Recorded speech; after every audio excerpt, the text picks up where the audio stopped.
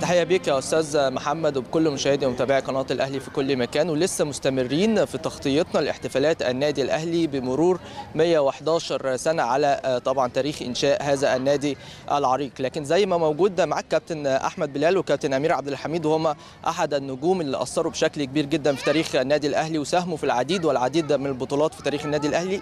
أيضا معايا في هذه اللحظات كابتن محمد شرف وكابتن إسحاق أول. هم أكيد أيضا كان لهم تاريخ مع النادي الأهلي. كابتن شرف برحب بيك في البداية. أهلا أمير ازي حضرتك؟ برحب بيك كابتن سعيد أهلا بك يا أمير.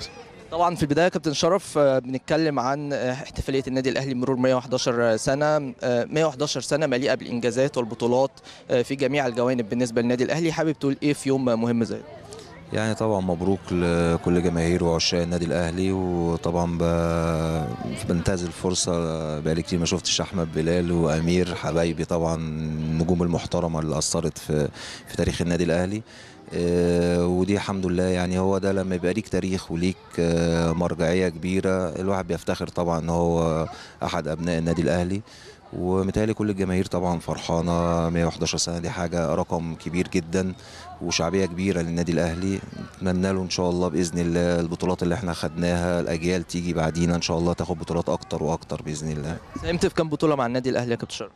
يعني وأنا لعيب 12 ومدرب بقى ما عدتش لأن هم كتير شوية يعني حوالي 10 سنين كده. كابتن محمد شرف المدير الفني لفريق 2001 وأيضا كابتن إسحاق أول مدرب لفريق 2001 ولسه كسبانين الزمالك بالمناسبة 2-1 تقريبا؟ آه 2-1 آه. هو الأسبوع اللي فات يعني الحمد لله ربنا كرمنا ال 2001 كسبنا 2-1 وفريق ال 2000 برضه حصد البطولة كسب 3-1 الزمالك برضه. الزمالك آه. فالحمد لله يعني إن شاء الله تكمل بإذن الله في مباراة الكبار بإذن الله و...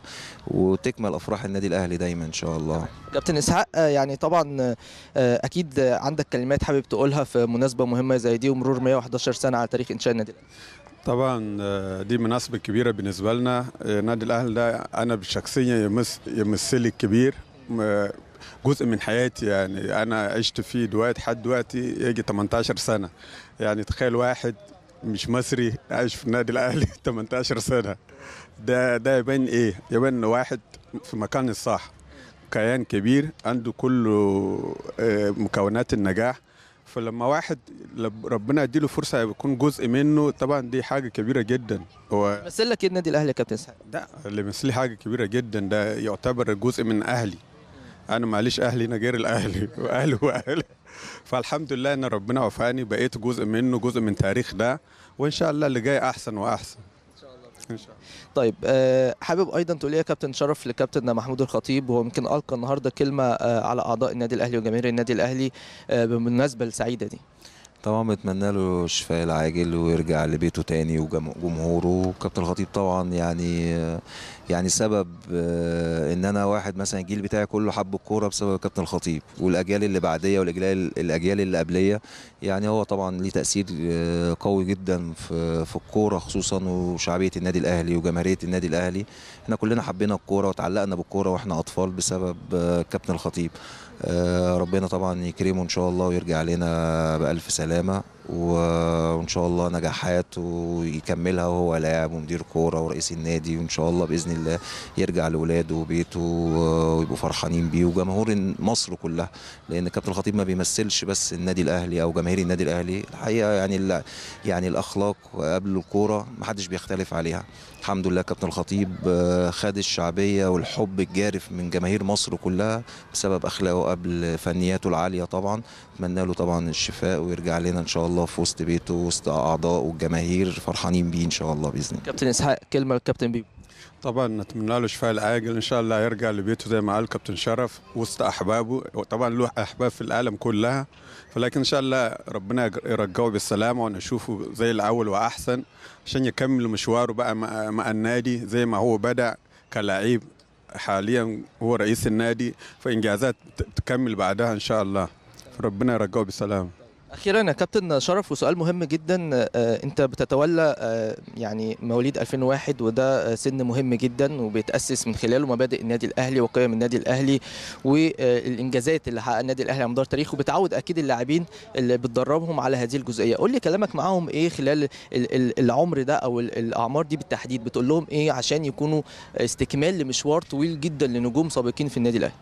والله طبعا إحنا عندنا طبعا الفريق الأول مليان بالنجوم ولاعيبة مهمة جدا ومؤثرين جدا فدايما بيبقى الكلام على آه، أفعال اللعيبة الكبار يعني في كل حاجة يعني آه، حتى التجديدات العقود بنضرب لهم أمثلة باللعيبة كلها وأنتم شايفين يعني حب الناس ده ما بيتقدرش بمال ويمكن السنة دي الحمد لله يمكن مع الدكتور عمرو وكابتن خالد اتعمل حوالي 16 لعيب عقود 2001 وبرضه الألف يعني كل الفرق في القطاع اللعيبة المميزة النادي الأهلي دايما في ظهرهم إحنا بنهم بيهمنا إن أنت ما تبقاش لعيب فنيا عالي جدا إحنا أهم حاجة إن أنت تبقى ملتزم واخلاقيا لأن اللعيب يعني الملتزم مش فنيات اولا. لا لا ال- الالتزام أهم أهم من حاجات كتير جدا هو اللي بيكمل. يعني عندنا طبعا نجمنا مبارك له طبعا كابتن محمد صلاح آه، أعتقد إن في لعيبه كانت أعلى منه فنيا كتير جت مصر لكن هو التزامه وأخلاقه هي اللي وعقليته. طبعا. آه، يعني ربنا كرمه إن هو طريقه الحمد لله مشي آه، بتدرج ومحترم لكن هو آه، التزامه وأخلاقياته وطبعا تطوره إن هو المخ هو اللي مشغله هو ملتزم جدا. وياما شفنا لعيبة كتير أعلى منه بكتير فنيا لكن ما قدروش يوصلوا الربع اللي حققه محمد. وعندنا أمثلة طبعا حسام غالي على طول كلامي وحسام عاشور كمية البطولات اللي خدوها مع النادي الأهلي. كل ده أمثلة ليهم وهم شايفين يعني هم شايفين بعينيهم آه، اللعيب اللي بيكمل في النادي الأهلي آه، بنقول له النادي الأهلي ده قطر ماشي وأنت بتحاول تقعد فيه أكبر عدد من المحطات. فربنا ده مثال مهم قوي وجيد جدا وأنا أول مرة أسمعه. آه، بيستوعبوا الكلام ده وبيفهموا أهمية تواجدهم في النادي الأهلي فترات طويلة وتحقيق إنجازات كتير مع النادي الأهلي وإن ده الأهم كمان إن بيتكتب لهم في تاريخهم حاجات بتبقى تفضل موجودة لأولادهم وأحفادهم فيما بعد. يمكن يعني القريبين قوي من الجيل اللي هو 16 و17 سنة عارف إن في وكلاء كتير بيكلموهم وفي عارف إن في عروض بتجيلهم من بره والموضوع بالسفر ما بقاش زي أيامنا والايام اللي قبلينا بقى سهل شوية. لكن هو التزامه ان هو عايز يحقق في النادي الأول وأكبر مثلا رمضان صبحي مثلا آه، تجربة أو تريزيجيه حاجة محترمة جدا. فهم شايفين القناة الشرعية والطريق الشرعي لل- ل- ل- ل- لمسيرتهم إن شاء الله الاحترافية من خلال النادي الأهلي. آه، اعمل اسم الأول في النادي الأهلي وبعد كده النادي الأهلي هو اللي هيبقى في ظهرك هو اللي هيفتح لك كل الأبواب بعد كده. نصايحك يا كابتن إسحاق آه، للأجيال القادمة آه، في النادي الأهلي سواء آه، طبعا الناحية الرياضية بالتحديد وأنت بتتولى أيضا مدرب فريق 2001 حابب تقول لهم إيه والنصايح المهمة بالنسبة لهم إيه من وجهة نظرك؟ والله أنا بالنسبة لي عايز أقول لهم لازم يصبروا. الصبر هو مفتاح كل شيء. لما واحد يكون عنده موهبة وكمان ربنا كرمه وهو جوه النادي الأهلي مؤسسة كبيرة دي فيها كل حاجات تخليه ينجح فلازم يصبر. على قد ما يقدر إنه يكمل يبقى جزء من تاريخ النادي الأهلي.